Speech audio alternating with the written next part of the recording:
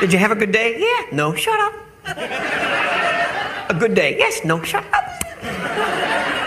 You're supposed to have taken him to the spa. I took him to the spa.